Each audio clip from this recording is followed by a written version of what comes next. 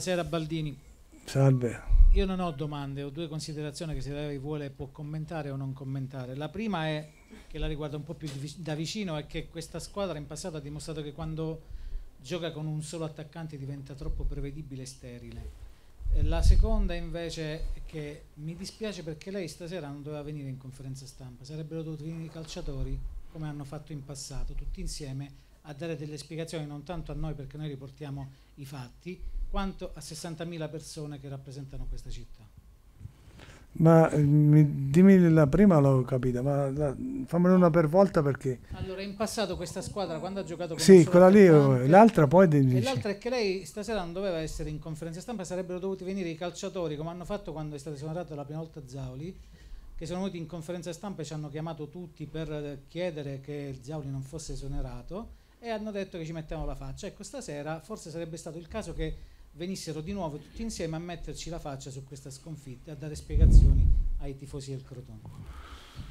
Vabbè, io faccio l'allenatore e devo cercare di difenderli, devo cercare di difenderli nel senso senza prendere in giro nessuno, perché abbiamo, abbiamo, abbiamo un aspetto che, di fragilità che io non, non, mi sarei mai aspettato, non mi sarei aspettato che dei, dei, ragazzi che giocano a calcio che si perdono così in un bicchiere d'acqua, cioè contro avversari normali, contro avversari che ci mettono un po' di cuore, un po' di cose.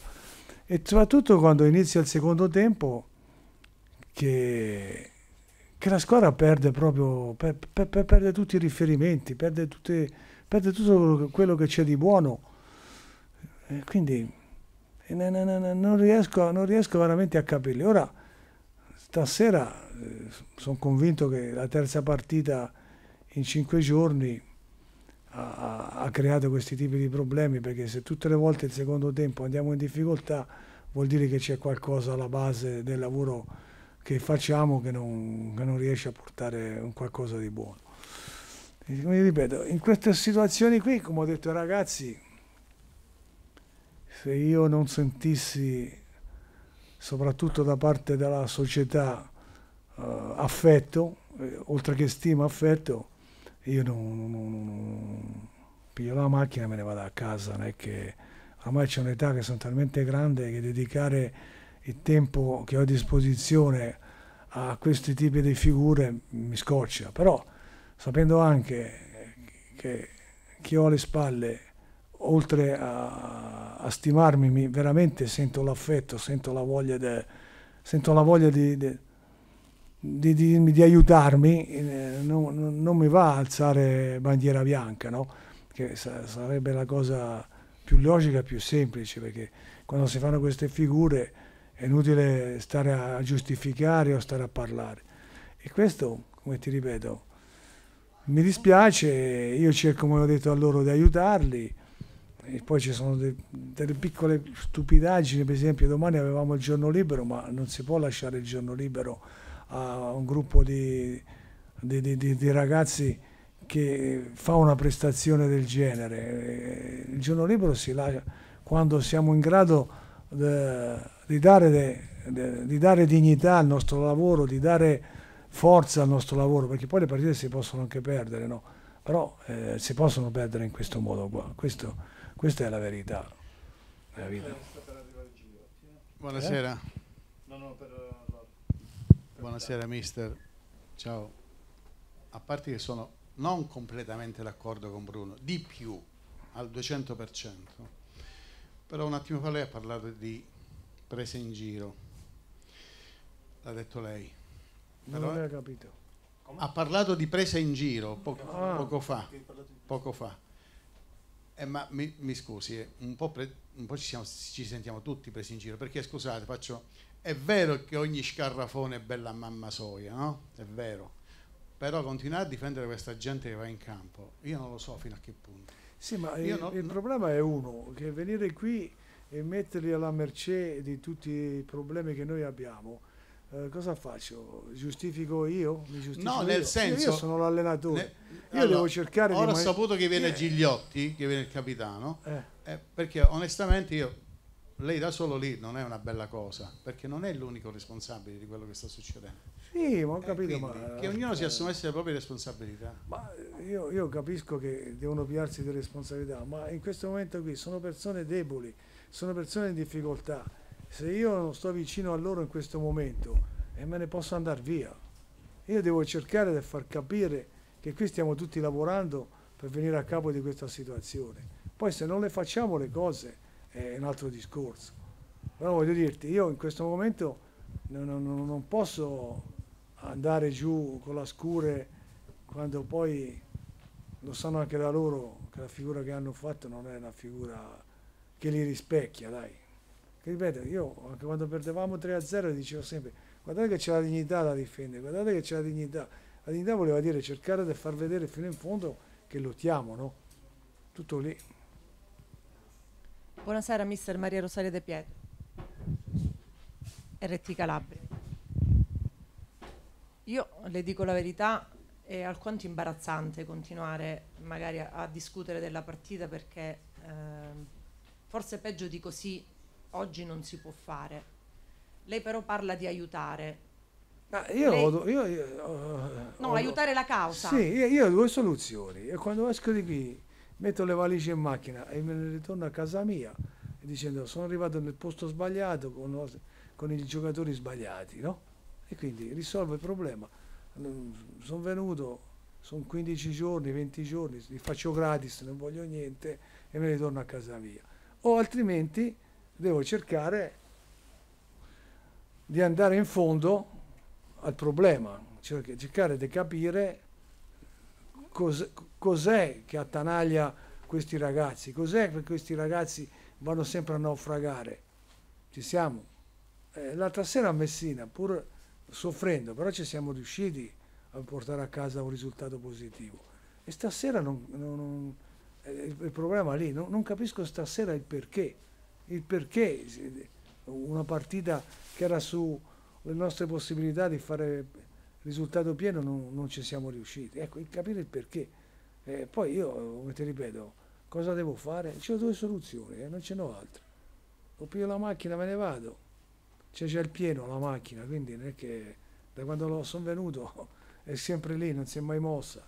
Però voglio dirti, è una soluzione. Se fa una soluzione io non c'è No, nessun io problema. le chiedevo come intende aiutare questa causa. Cosa? Cercando di lavorare e cercando pian piano di far giocare i giocatori che sono più, come si può dire, eh, più funzionali a quello che noi vogliamo fare. Tutto lì. Far giocare quelli più funzionali. Che, che- che non c'è altro.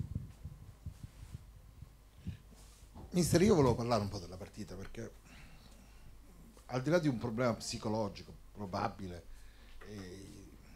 non so se c'è un problema fisico relativo poi ai secondi 45 minuti. Che i primi 45 minuti il nostro palleggio l'abbiamo fatto, il Latina era chiuso dietro, zero tiri in porta, anzi uno, quello di Dursi. Però volevo evidenziare una cosa, eh, i colleghi prima gliel'hanno detta, la- questa eh, chiaramente viene in secondo piano. Cioè, io vorrei capire se c'è scritto proprio, c'è una ricetta del medico che ci costringe a giocare per forza con una punta, che dobbiamo fare per forza il 4-2-3-1, cioè per dare una scossa alla squadra, anche tra prima e secondo tempo lei ha fatto tre cambi.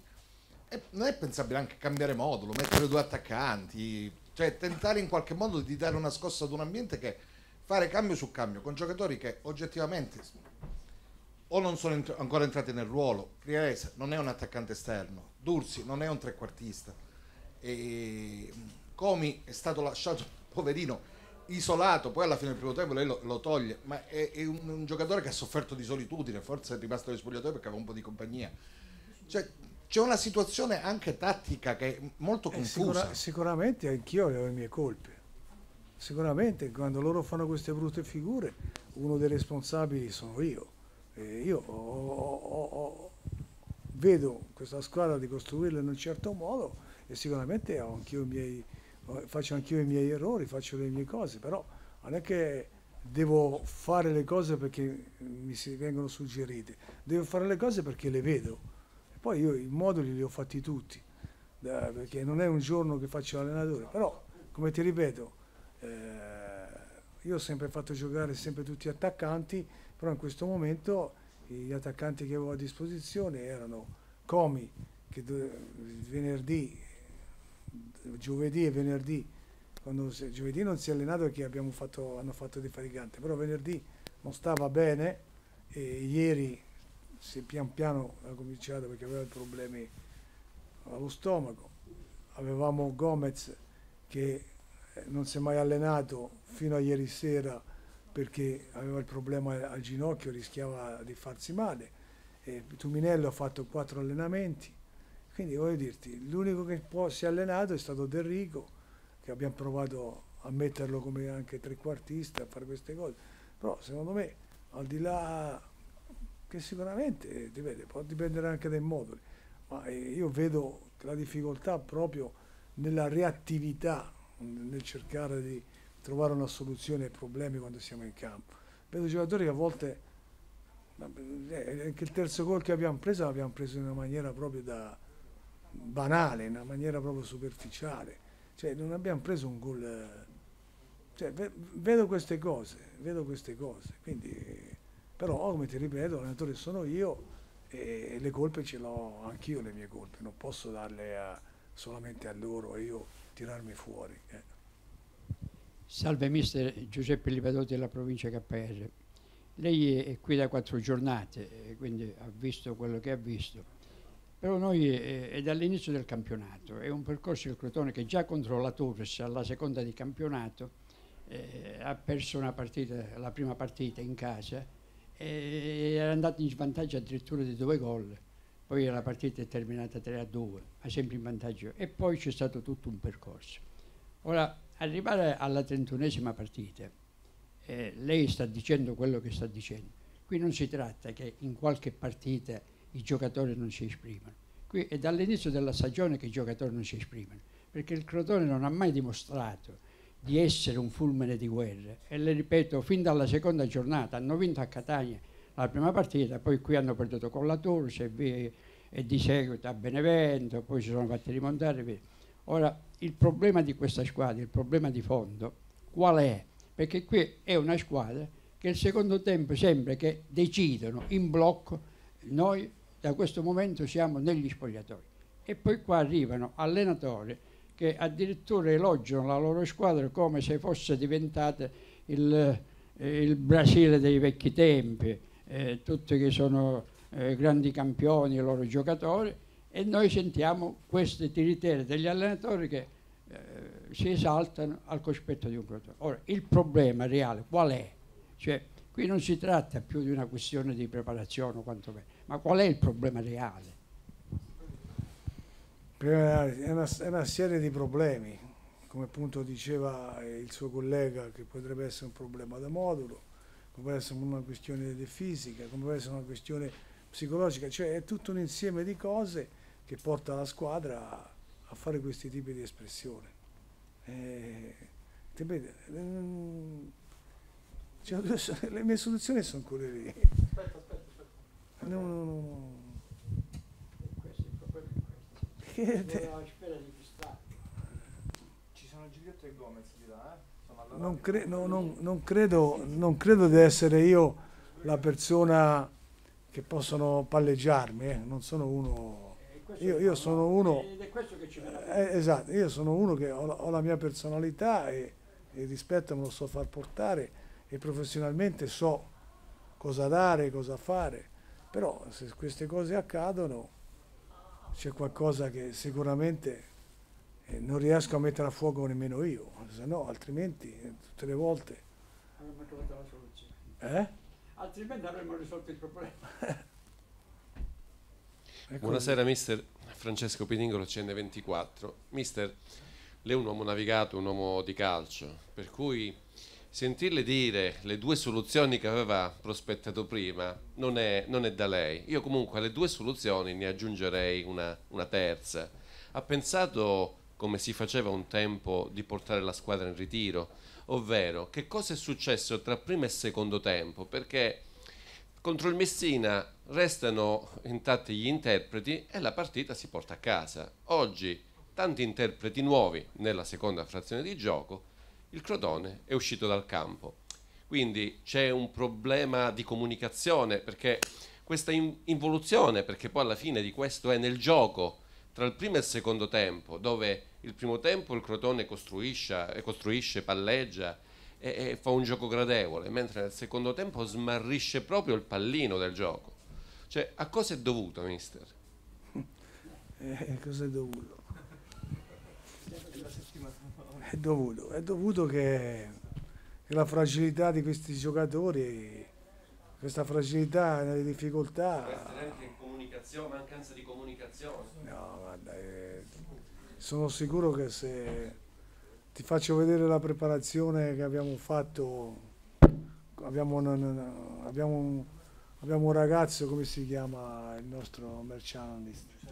Giuseppe, che è bravissimo a creare i possessi palla, a creare come dobbiamo andare a pressare, a come dobbiamo scalare. Sono sicurissimo che sareste capaci anche voi, senza giocare, di fare queste cose qui.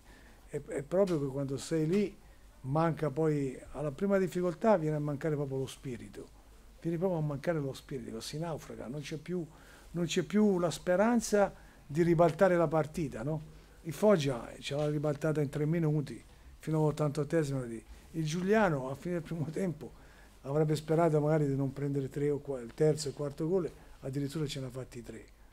Stasera questi sono venuti, hanno cercato di contenerci, ma non credo che avrebbero pensato di divertirsi così, perché poi si sono proprio divertiti nel, nel farci male. Dai. È così, dai, è inutile mettere il dito nella piaga, dai.